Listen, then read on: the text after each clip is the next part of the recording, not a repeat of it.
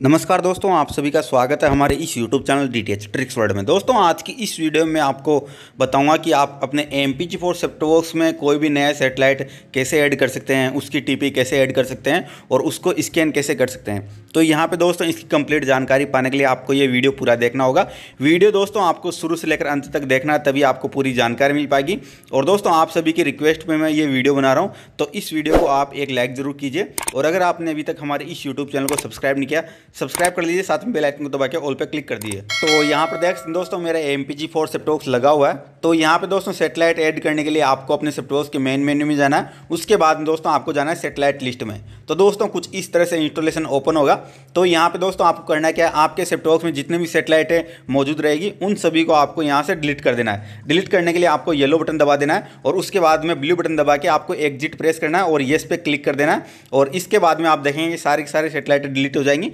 अब आपको दोस्तों नया सेटेलाइट ऐड करने के लिए रेड बटन दबाना है तो यहाँ पे दोस्तों इस तरह से ऑप्शन ओपन होगा तो यहाँ पे ओके करना है। ओके करने के बाद में दोस्तों आपको इसमें नाम डालना है। तो मैं यहाँ पे देखिए डी डी फिडिस लिखूँगा, और उसके बाद में दोस्तों आपको येलो बटन दबा देना ताकि ये सेव हो सके। इसके बाद में आपको लॉन्गिट्यूड डालना है तो डी डी फिडिस का जो लॉन्गिट्यूड है वो है दोस्तों zero ninety three point five east तो ये रखना आपको, और उसके बाद में दोस्तों आपको येलो बटन दबा देना है।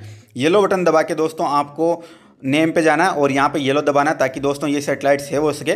तो ये देखिए सेटेलाइट सेव हो चुका है। इसके बाद में दोस्तों आपको रिमोट से राइट बटन दबाना है। राइट बटन दबा के दोस्तों आपको एल एन फ्रिक्वेंसी सिलेक्ट करनी है। दोस्तों सी बैंड का सेटेलाइट के लिए आपको एल एन फ्रिक्वेंसी ज़ीरो इक्यावन पचास रखनी है और जो यहाँ पे के बैंड के सेटेलाइट होते हैं, उनके लिए आपको एल फ्रिक्वेंसी यूनिवर्सल रखनी है।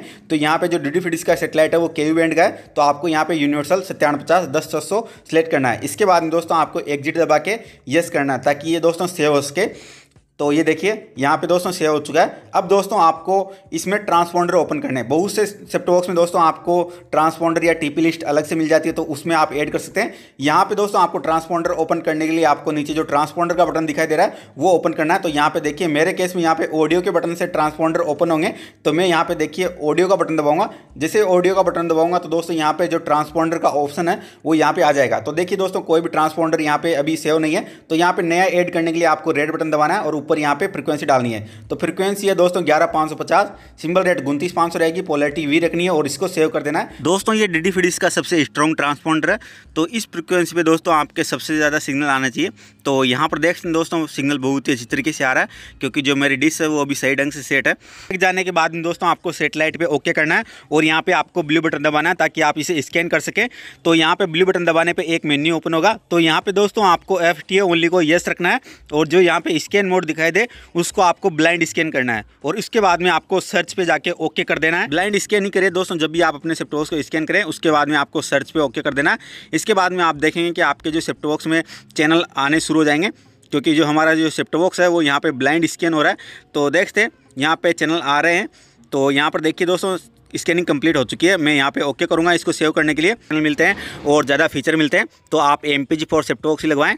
तो दोस्तों, मैंने आपको इस वीडियो में पूरी जानकारी दे दी है कि किस तरह से आप अपने a M P G four set top box में नया सेटेलाइट ऐड कर सकते हैं, नई टीपी ऐड कर सकते हैं और उसको किस तरह से स्कैन कर सकते हैं। तो उम्मीद करता हूँ दोस्तों, आपको इस वीडियो में पूरी जानकारी मिल गई होगी। अगर दोस्तों, आप मेरे द्वारा दी गई जानकारी से संतुष्ट हैं तो इस वीडियो को लाइक कर दीजिए। अपने सभी दोस्तों का शेयर कर दीजिए। अगर आप हमारे इस यूट्यूब चैनल पर पहली बार आएँ चैनल को सब्सक्राइब नहीं किया सब्सक्राइब कर लीजिए। साथ में बेल आइकन को दबा के ऑल पे क्लिक कर दीजिए, ताकि आप हमारी आने वाली सभी इंटरेस्टिंग वीडियो सबसे पहले अपने मोबाइल पे देख पाएँ। तो मिलते हैं दोस्तों अगली वीडियो में। धन्यवाद दोस्तों।